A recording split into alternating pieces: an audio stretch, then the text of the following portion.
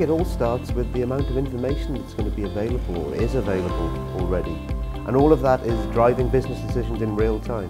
The challenge is going to be having access to that information, having the tools available for that information, and uh, having the real-time analytics to, to make business decisions in the moment, uh, in real time.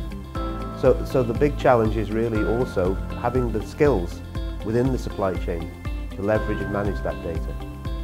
Seeing the role of uh, people in the supply chain changing, being able to bring together that, the challenge of the big data and the, uh, the systems and the, and the know-how of the business to make those informed business decisions. So I see that role, uh, the role of a data scientist being one of the most sought after roles in business and also in supply chain moving forward.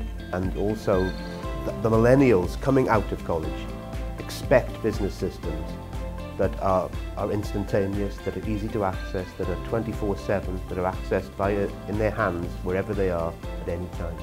So that's how I see it.